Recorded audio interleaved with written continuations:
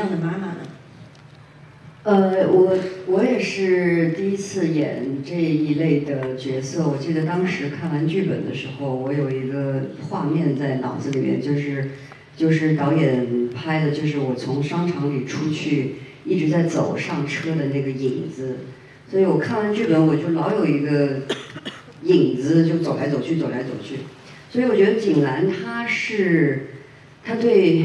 苗苗，还有对他的家庭，我们且说，因为他的职业这一部分是被隐掉的，我们且说他是非常成功。你看他的那个速度啊，你看他的装扮，其实他是比较成功的。但是他对他的家庭，我觉得他是非常，尤其是对苗苗，我觉得他的爱是非常软弱的。